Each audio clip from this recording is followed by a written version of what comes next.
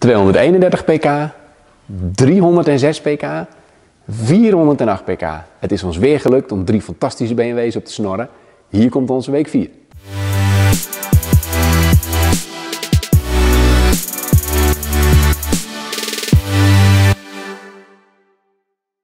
Op volgorde van motorvermogen begin ik met deze X3 uit september 2006.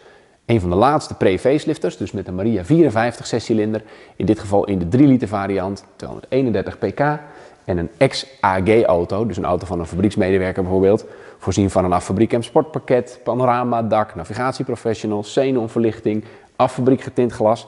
Echt een super complete auto. Hele mooie kleurcombinatie. Dat saffier zwart metallic, er zit natuurlijk een beetje zo'n bruine ondertoon in. En dan met dat terracotta leer op de sportstoelen en die hele mooie donkere houten sierlijsten. Rondom aanmerk Goodyear bandjes op de onbeschadigde 18 inch velgen. Deze X3 is in oktober 2007 naar Nederland gekomen. Heeft tot 2018 één particuliere eigenaar gehad. En wij kochten hem recent in van de tweede Nederlandse particuliere eigenaar. De auto heeft nu 110.000 kilometer gereden. Deze hebben we ook nieuw binnen. Een 2013 335 Touring met X-Drive in de luxury lijnuitvoering. Mooi met die vergrote accentjes in de voor- en achterbumpers. Super chique auto natuurlijk in het Imperial blauw briljant effect. Met die mooie gesatineerd aluminium raamlijsten en de zwarte staanders van de luxury lijnuitvoering affabriek getint glas en een Veneto beige leren interieur. Naast de superchique kleurcombinatie en de geweldige 306 pk N55 twin scroll turbo 6-cilinder motorisering is het ook bij deze auto met name de conditie die opvalt. Ook van binnen absoluut smetteloos. Moet je bijvoorbeeld het stuurwiel zien.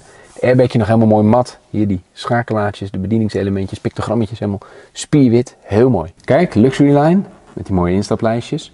Sportstoelen met elektrische stoelverstelling. En kijk eens naar die instappen. Gewoon volkomen ongeschonden. Harman audio. Zelfs stuurwielverwarming. Nog een leuk extraatje op zo'n soort auto. De elektrisch uitklapbare trekhaak. Ik heb gewoon iets met blauwe auto's.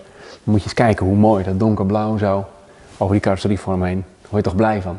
Maar eigenlijk had deze daar in ons individual hoekje moeten staan. In individual citrine zwart metallic over een zwart napaleren interieur met een napaleren dashboard met Alcantara hemelbekleding, de Holy Grail, de eindbaas onder de 5-serie Tourings, een 550i met en sportpakket. Moet je eens kijken naar die goudgeelachtige glans die hier onder het zwart zit. Je ziet het eigenlijk pas goed in het contrast met de raamlijsten die echt hoogglans zwart zijn. Wat een verschil er zit tussen zwart, zwart en zwart.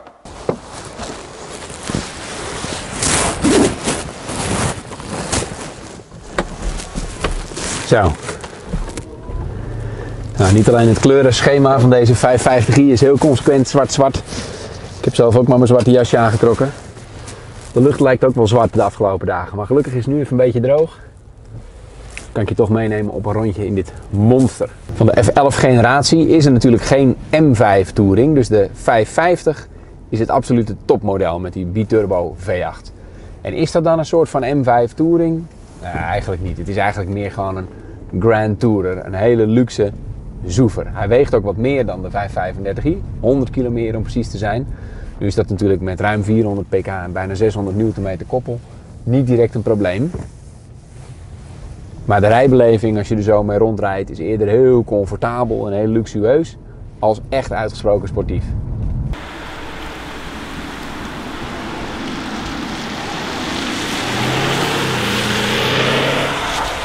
Ook deze auto is weer voorzien van alle onderstelopties. Dus we hebben de adaptieve dempers, de actieve stabilisatoren en ook de vierwielbesturing. En dat is wel grappig, want daarmee reikt natuurlijk het rijbereik van deze auto van uitgesproken comfortabel tot behoorlijk sportief. Met die vierwielbesturing kun je ook iets anders grappigs. Kun je met je 400 pk stationcar van 2 ton echt op de vierkante centimeter keren.